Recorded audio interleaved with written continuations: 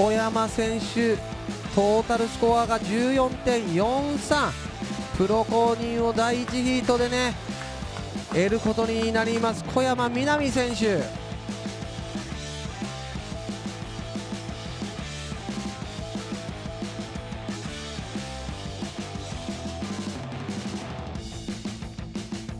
11ヒートの日枝俊選手レッドがトータルスコア13.16プロ公認を得ることになります。おめでとうございます。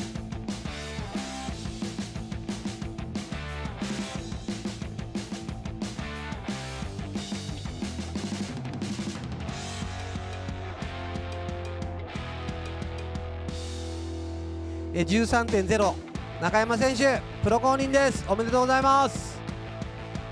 さあアップしたのはレッド。B ポイントスピードをつけてファーストターン。さあそしてセットアップしてからのハングファイブに決めてくる。あこれはいいライディングになるんじゃないでしょうか。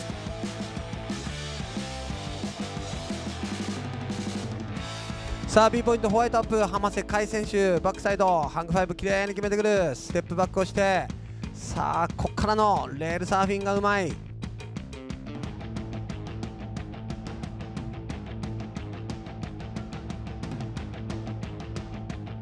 A ポイント第1位ホワイト山口選手トータル12.17ポイントで通過です。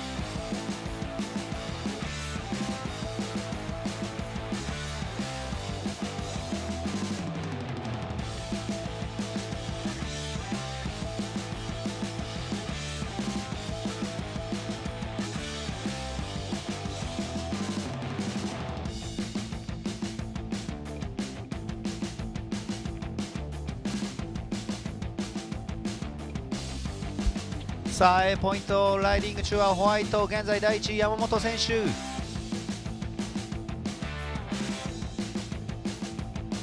さあイエロー小山選手は A ポイントの選手ですね。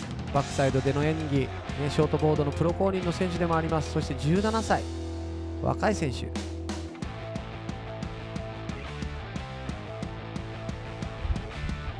さあ上村選手がイエローレフト方向でリエントリー決めてきます。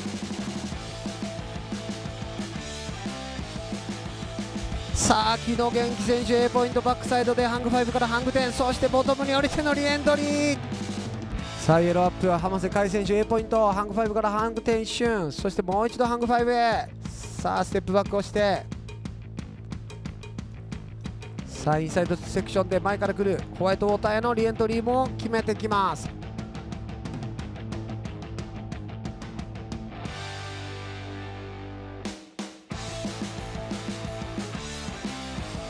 そして A ポイントはホワイトの選手ライト方向。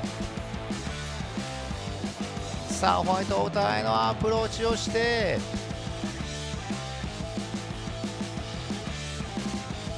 そしてホワイトの選手は A ポイントの選手、ね、この形ならば OK です。